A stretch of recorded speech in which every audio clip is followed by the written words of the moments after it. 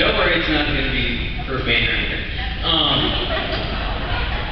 we sang a song in the Guys Ensemble called Viva l'Amour, and one of the verses is this.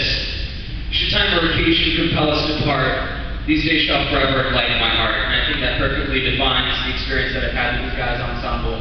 I've been with Sean and Drew and Christian in choir for most of my high school career. Hayden's a freshman. He's done a great job of joining us, and then Wesley's just a monster singing everything. So,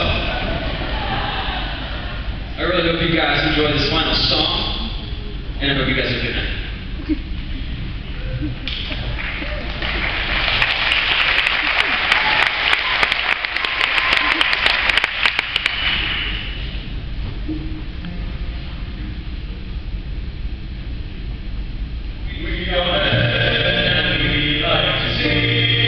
Thank you.